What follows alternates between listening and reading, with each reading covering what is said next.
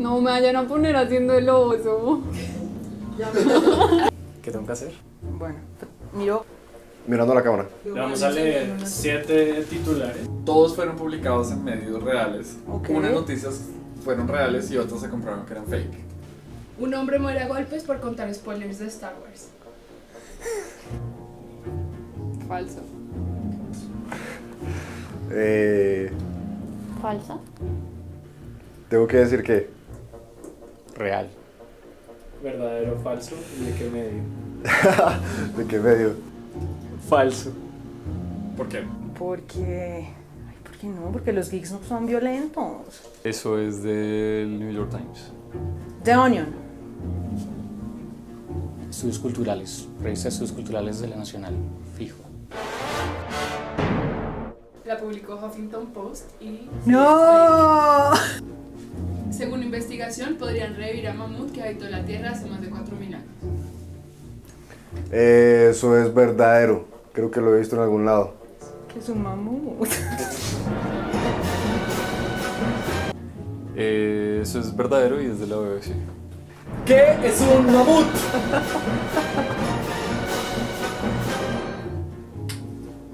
Falso.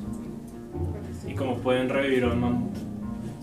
Pues poniendo de pronto sus. lo que sea que le hayan extraído al mamut muerto, tal vez, en una elefanta. ¿Verdadero?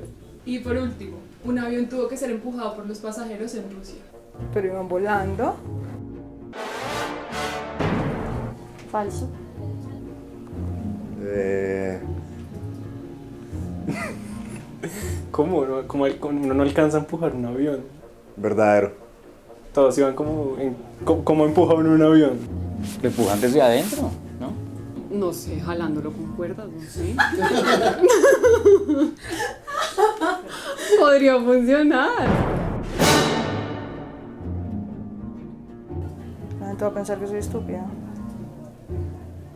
Un mamut es como el abuelito del elefante. Y sí se puede revivir aquí, ya encontré la noticia. Y hay una universidad que es la Universidad Kinki de Japón, se llama Kinki, ¿no? En la que van a sacarle un grupúsculo de células de uno de los muslos de un mamut que encontraron. Y con eso va- lo van a unir con el óvulo de una elefanta y van a hacer nuevos mamuts.